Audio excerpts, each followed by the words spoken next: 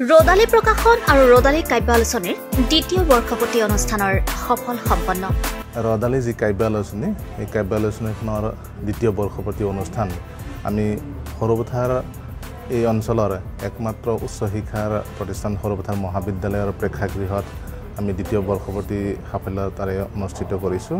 সৰুপথাৰ অঞ্চলৰ বিশিষ্ট কবি স্পনানী গগৈ চেতিয়া আৰু কবি মহেশ্বৰ বসুমতাৰী সুপ্ৰচেষ্টাত আত্মপ্ৰকাশ ঘটা ৰদালি প্ৰকাশন আৰু ৰদালি কাব্যালোচনীয়ে সফলতাৰে দুটি বছৰ সম্পূৰ্ণ কৰে। সেয়েহে দেওবাৰী ৰদালি সম্পাদনা কক্ষই সৰুপথাৰ মহাবিদ্যালয়ৰ মহিকান্ত তামুলী প্ৰেক্ষাগৃহত অতি আড়ম্বৰপূৰ্ণভাৱে সাফল্যৰ দ্বিতীয় বৰ্ষপূৰ্তি অনুষ্ঠানৰ আয়োজন কৰে। আজিৰ আচলতে আমি এই যি দ্বিতীয় বৰ্ষপতি অনুষ্ঠান এই বৰ্ষপতি অনুষ্ঠানত আমি বিভিন্ন প্ৰান্তৰ অসমৰ বিভিন্ন প্ৰান্তৰ দহগৰাকীকৈ কবি লেখকৰ আমি ৰদালি প্ৰকাশনৰ পৰাই ইয়াতে আজি প্ৰকাশ কৰি উন্মোচন কৰোৱাইছোঁ। সঁচাকৈ ধন্য হৈছোঁ আজি। আমাৰ এই অনুষ্ঠান সফল হৈছে মই অনুভৱ কৰিছোঁ। যিকেইগৰাকী ব্যক্তিয়ে আমাৰ প্ৰকাশনৰ পৰা আজি তেখেতলোকৰ গ্ৰন্থ প্ৰকাশ কৰিলে এই প্ৰকাশিত গ্ৰন্থসমূহ আমি আশা কৰোঁ বহুলভাৱে প্ৰচাৰিত হ'ব আৰু তেখেতলোকৰ যি কাব্যলোচন বা কাব্য চৰ্চাৰ ক্ষেত্ৰত যি যাত্ৰা এই যাত্ৰা সফল হ'ব বুলি আমি আশাবাদী।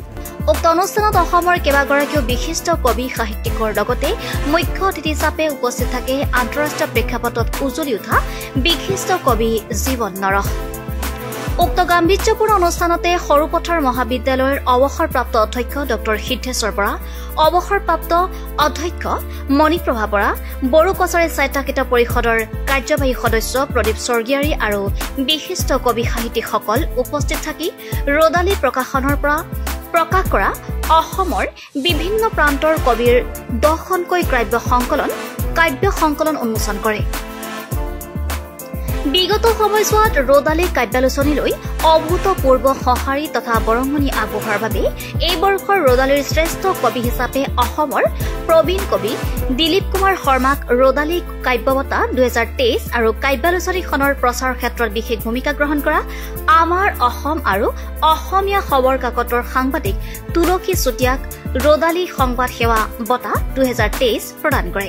আমি এই অনুষ্ঠানৰ লগতে আমি প্ৰতি বছৰেই আমি ৰদালি বৰ্ষশ্ৰেষ্ঠ বঁটা হিচাপে আমি বিশেষকৈ ৰদালি কাব্য বঁটা প্ৰদান কৰোঁ আৰু লগতে দুহেজাৰ বিশেষকৈ ৰদালি সংবাদ সেৱা বঁটা এই দুটা আমি প্ৰদান কৰোঁ। এই বছৰৰ আমি বিশেষকৈ আমাৰ ৰদালি শ্ৰেষ্ঠ কবি হিচাপে ৰং ৰদালি কাব্য বঁটা দুহেজাৰ তেইছ দুহেজাৰ তেইছ চনৰ বাবে আমি শ্ৰদ্ধাৰ বিশিষ্ট কবি দিলীপ শৰ্মা ডাঙৰীয়াক আমি মনোনীত কৰিছোঁ। তেখেতক ইতিমধ্যে দিয়া হৈছে আৰু ৰদালি সংবাদ সেৱা বঁটা হিচাপে শ্ৰেষ্ঠ সংবাদকৰ্মী হিচাপে বা আমাৰ এই অঞ্চলত সংবাদ সেৱাৰ ক্ষেত্ৰত বিশেষ অৰিহণা যোগোৱা ব্যক্তিক আমি ৰদালি সংবাদ সেৱা বঁটা প্ৰদান কৰিছোঁ। আৰু এই বৰ্ষৰ ৰদালি সংবাদ সেৱা বঁটা আমাৰ অসম আৰু অসমীয়া খবৰৰ এগৰাকী জ্যেষ্ঠ সাংবাদিক তুলসী চুতীয়া ডাঙৰীয়াক প্ৰদান কৰা হৈছে।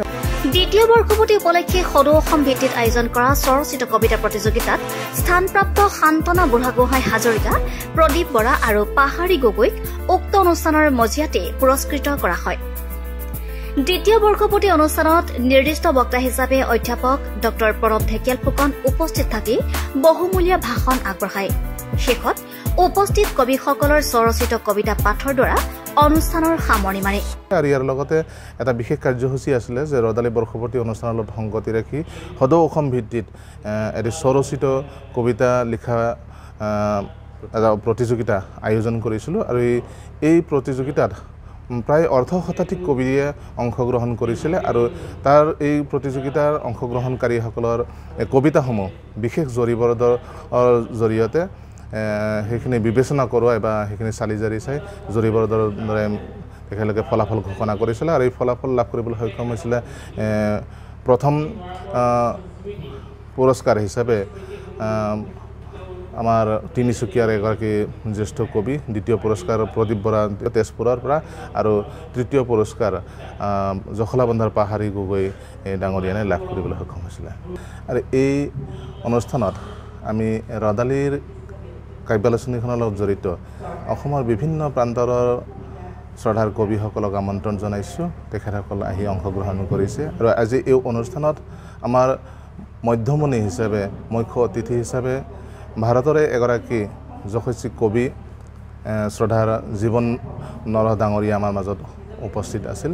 আৰু তেখেতে তেখেতৰ যি সাৰুৱা মন্তব্য আৰু বক্তব্যৰে আমাক ৰদালি কাব্যালোচনী তথা ৰদালি পৰিয়ালক উৎসাহিত কৰিছে। আৰু এই অনুষ্ঠানতে মুখ্য অতিথি হিচাপে সৰ্বধাৰ মহাবিদ্যালয়ৰ অসমীয়া বিভাগৰ বিভাগীয় মুৰব্বী ডক্টৰ প্ৰণৱ ঢেকিয়াল ফুকন ছাৰ আমাৰ মাজত উপস্থিত আছে। আৰু আমি এই অনুষ্ঠানৰ জৰিয়তে অসমীয়া কাব্য সাহিত্যত অসমীয়া ভাষাৰে নিজৰ কাব্য সাহিত্যক আমি এই ৰদালি কাব্যালোচনীৰ কেনেধৰণে সামান্য আমি আমাৰ অৱদান আগবঢ়াব পাৰোঁ তাৰ কাৰণে প্ৰচেষ্টা অব্যাহত ৰাখিছোঁ। আৰু ইয়াৰ বাবে অসমৰ বিভিন্ন প্ৰান্তৰৰ ন লেখকসকলক কবিসকলক আমি একত্ৰিত কৰিবলৈ প্ৰয়াস কৰি আছোঁ আৰু ইয়াৰ জৰিয়তে আমি আশা কৰোঁ অনাগত দিনত ৰদালিয়ে এটি সফল কবিতা আলোচনী হিচাপে পৰিগণিত হ'ব আৰু আমাৰ নতুন নতুন কবিসকলক আমি এই কাব্যালোচনীখনৰ জৰিয়তে আমি পোহৰলৈ আনিব পাৰিম বুলি আমি আত্মবিশ্বাসী। আজি আমাৰ অপেক্ষাৰ দিনটো আজি অন্তিম সময় পাইছেহি। আজি আমি আমাৰ মুখ্য অতিথি জীৱন নৰদেৱক আমি আমন্ত্ৰণ কৰি আনিছিলোঁ। আৰু ইয়াৰ লগতে আজি তেখেত আহিলে আৰু অসমৰ বিভিন্ন স্থানৰ পৰা আমাৰ মাজত আহি কবিসকলো আহি নিমন্ত্ৰিত লোকসকল আহি উপস্থিত হ'লহি। আৰু আমাৰ সুন্দৰভাৱে এই অনুষ্ঠানটি সম্পন্ন হৈছে। আমাৰ দহখন গ্ৰন্থ ইতিমধ্যে উন্মোচন কৰা হ'ল বিভিন্ন ঠাইৰ আৰু এতিয়া নিমন্ত্ৰিত অতিথিসকলৰ কবিতা পাঠ হৈ আছে। মই এইটোকে ক'ম যে সৰু পথাৰত কেৱল খেলুৱৈ নাই ইয়াত সাহিত্য সাধনা কৰা ৰদালিৰ নিচিনা কাব্যালোচনী ইয়াৰ পৰা প্ৰকাশ কৰা আৰু কাব্যালোচনীৰ পিছতেই প্ৰকাশলৈ বিস্তাৰিত ৰূপ দিয়া স্মৰণী গগৈ আৰু মহেশ্বৰ বসুমতাৰীয়ে যি উদ্যোগ লৈছে সি প্ৰশংসনীয়। আৰু আদৰণীয়। মই আশা কৰিছোঁ ভৱিষ্যতলৈ এই যাত্ৰা অব্যাহত থাকক।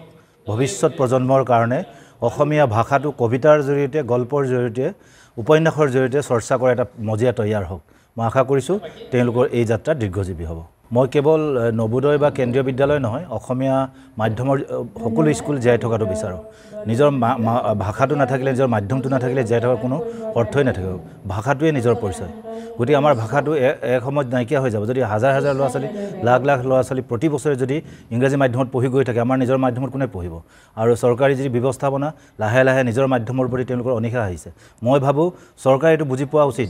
বিশ্ব দৰবাৰত নিজৰ মাধ্যমেৰেহে নিজৰ স্থিতি নিজৰ ঐতিহ্য নিজৰ চেতনাক গৌৰৱান্বিত কৰা লোকসকল হৈছে নিজৰ মাধ্যমৰ পৰা যোৱা। গতিকে অসমীয়া ভাষাৰ মাধ্যমৰ যিমানবোৰ বিদ্যালয় আছে আৰু অসমত থকা যিমানবোৰ জাতি জনগোষ্ঠীৰ ভাষা আছে সেইটো সংৰক্ষণৰ ব্যৱস্থা কৰিব লাগে। আৰু যদি কোনোবা চৰকাৰে যদি সেই ব্যৱস্থা নকৰে আমাৰ স্থানীয় লেভেলত বিভিন্ন ধৰণৰ শুভাকাংক্ষী বা জাতিটোৰ প্ৰতি দায়িত্বশীল ব্যক্তিসকলৰ বা অনুষ্ঠানৰ জৰিয়তে এইবোৰ কাম কৰিব লাগিব। হয় এইটো কৰি আছোঁ। এতিয়া শেহতীয়াকৈ নৱোদয়ত অসমীয়া ভাষাটো ইলেভেন আৰু টুৱেলভত প্ৰযোজ্য হ'ব লগাকৈ তেওঁলোকলৈ মেমৰণ্ডাম পঠোৱা হৈছে আৰু বিভিন্ন মানুহক জড়িত কৰাইছোঁ যাতে এই স্কুলবোৰত আমাৰ নিজৰ ল'ৰা ছোৱালীবোৰে নিজৰ ভাষাটো পঢ়াৰ সুবিধা পায়। আৰু যিহেতু ভাৰত চৰকাৰৰ এনেধৰণৰ স্থিতি এটা আছেই নৱোদয়ত নিজৰ নিজৰ ভাষাত পঢ়াৰ সুযোগ লোৱাৰ। গতিকে এই সুযোগটো কিয় আমি হেৰুৱাই পেলাম? গতিকে তোমালোকৰ সংবাদকৰ্মী হিচাপে তোমালোকেও তোমালোক বুলি কৈছোঁ তোমালোকৰ বয়সৰ সৰু দেখিছোঁ কাৰণে যে তোমালোকেও তাৰ উদ্যোগত জড়িত হ'ব লাগে। তোমালোকেও সেই কথাখিনি প্ৰসাৰ প্ৰচাৰ কৰি ভাষাটো জীয়াই ৰখাত উদ্যোগ ল'ব লাগে।